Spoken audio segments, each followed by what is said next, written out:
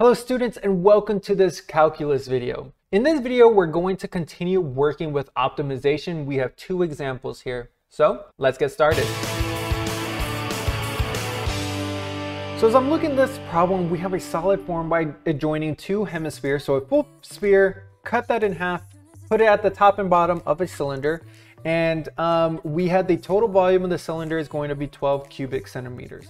Find the radius of the cylinder that produces the minimum surface area. Okay, let me draw a picture real quick.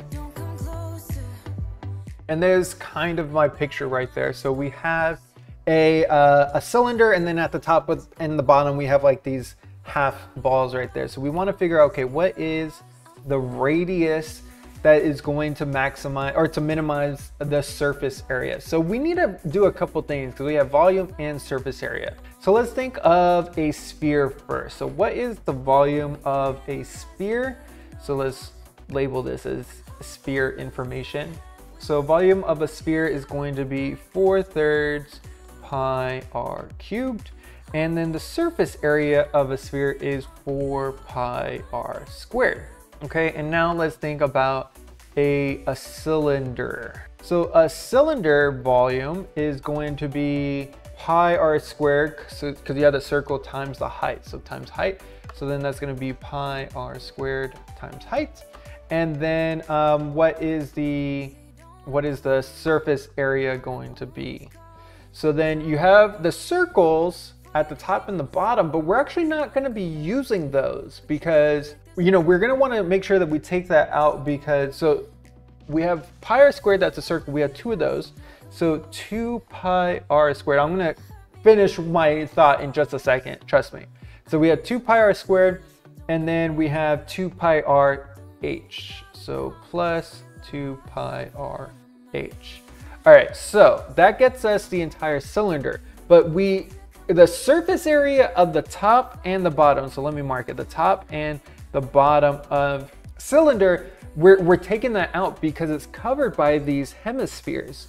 So we actually don't need the two circles. So we don't need the 2 pi r squared, just the 2 pi r h. All right, so now that we've kind of figured out some stuff is we want to start to write, all right, we want the minimum surface area. So I need to combine my surface area formulas. So let's write here, area equals um, surface area of the sphere. So that's gonna be four pi r squared plus uh, surface area of the the cylinder part, the outer part, so that's plus 2 pi r h. And then this is where I notice I have r and I have h. So I need to find some sort of way to relate um, an additional equation here. So then that's where I'm gonna get the area, or sorry, the volume. So let me write here, volume. And we know it's going to be 12, so I'll write that here. We'll figure that out in a second. So we're gonna add the two volumes. So 4 thirds pi r cubed plus pi r squared h. Okay, so there we go. And what I want to do is solve for h so I can substitute it back into my area equation above. All right, what I can do is substitute or factor out a, actually no, let's just subtract the 4 thirds pi r cubed. So 12 minus 4 thirds pi r cubed plus or equals pi r squared h and then divide everything by pi r squared. So let's see, what would be the easiest way to do this? Well, let me get rid of this 3 in the denominator. Um, so I'm going to get 36 minus 4 pi r cubed equals 3 pi r squared h. And then now it'll be a little bit easier just to divide out by the 3 pi r squared. So then divide that by 3 pi r squared, and that's going to get me just the h. I know it's a little bit wonky right there, but you know, you get the work, you get the idea of what I'm trying to do there. So I've solved for h, and now I'm gonna make that substitution into my area. So I'm gonna say, all right, area equals 4 pi r squared plus 2 pi r, and now h is 36 minus 4 pi r cubed over 3 pi r squared. Now what do I want to do? So I want to eliminate, I want to divide out this r with one of these r's down here. Okay, so now I just divided by 3 pi r. And I also want to divide out this pi with this pi. So what I distribute, let me get this here, area is equal to 4 pi r squared plus, I'm going to distribute the 2 across the numerator. So that's going to be 72 minus 8 pi r cubed all over 3r. So 72 over 3r, and then this one over 3r. All right, so now let's simplify as much as possible. So area equals 4 pi r squared plus 72. Oh wait, uh, 72 divided by 3. I can do that. That is going to be 24. So 24 over r. And then r cubed over r, so that's just gonna get me r squared, so minus 8 thirds pi r squared. All right, so let's go with this, and like, we can take this derivative, and I think some things would actually be a little bit easier to work with in the end if I just took the derivative here. So let's go ahead and do that. So a prime is going to be 8 pi r, because you bring the 2 down, you multiply um, this is r to the negative 1, so minus 24 over r squared, because you subtract 1 from the exponent. And then um, bring the 2 down, so 16 thirds pi r. All right, so let's set this equal to 0.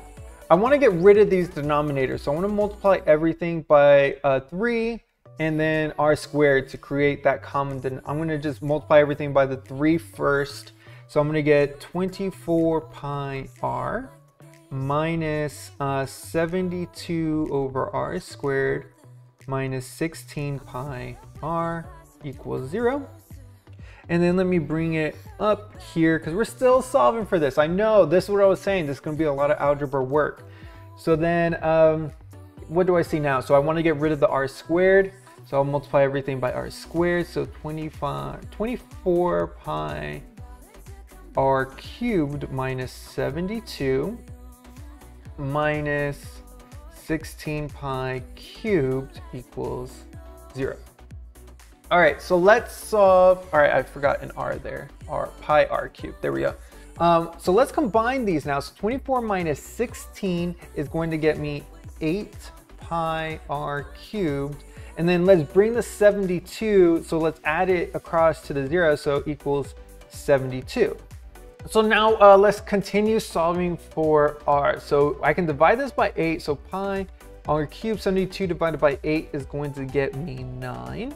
And I can divide this by pi. So r cubed equals 9 over pi. And then I can take the cube root of that. So r equals the cube root of 9 over pi. That was a lot. And let me also tell you, um, I don't really need you to whip out your calculators. Let me just tell you that this is approximately 1.42. We're going to kind of just estimate that because I want to say, okay, we're going to use this. We figured out the length of the radius, right? We figured out a value, cube root of 9 over pi. But we have to say why we know that this is, um, we want to know if this is a maximum. We want to say, okay, why is this the minimum. How do we know that this is the minimum? So that's where we're gonna use our sign chart. So I'm gonna make a sign chart here. And uh, we're going from zero to the cube root of nine over pi right here. And we're using um, a prime. And I think it would probably be easiest to kind of say this one, 8 pi r. I'm to rewrite this equation, 8 pi r cubed minus 72 equals 0. And I could actually just say uh, pi r cubed minus 9 equals 0. That would probably be the easiest one to use. All right, so let's use a value less than 1.42. All right, so in this case, I'm going to be using 1. So pi times 1 cubed minus 9, that's going to be negative. And then let's use 10. So 10 cubed times pi minus 9, that's going to be a positive, and this is again representing a prime. So we know that this is minimized. It's a minimum because a prime changes from negative to positive.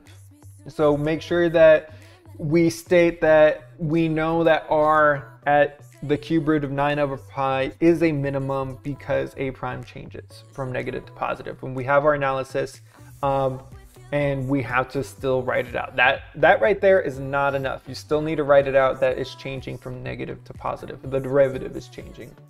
Now I know that this one was a giant problem, but be thankful that our next example here is not going to be as bad, okay? And this is probably gonna be a little bit more intuitive to what we wanna do. So we have profit and for the company spending versus the advertisements. So find the amount of money the company should spend on advertising in order to yield a maximum. All right, well, we have something that relates the profit and the advertisements already. We have P, so we need to start by finding P prime. So then that's gonna be negative 3 tenths S squared plus 12S plus zero, okay? And we're gonna set this equal to zero, so uh, what can I factor out of here? Well, I can factor out, factor out an S, and then I'm left with negative 3 tenths S plus 12 equals 0.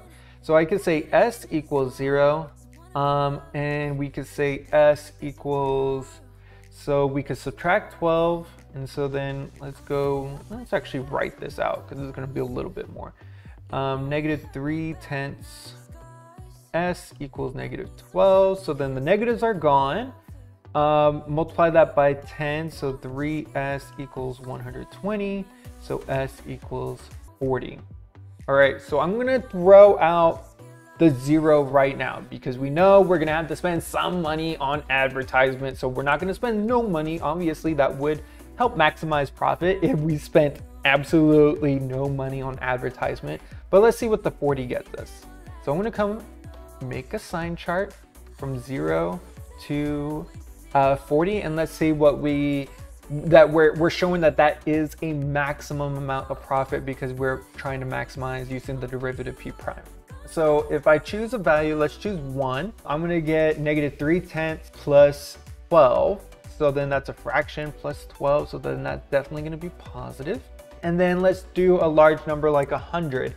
So I'm gonna get negative a so 100 squared, that's gonna be big. So negative 3 tenths times 100 plus 12 times 100. So then that's gonna be 1200. Well, that subtraction isn't gonna work out. So then that's still gonna be negative.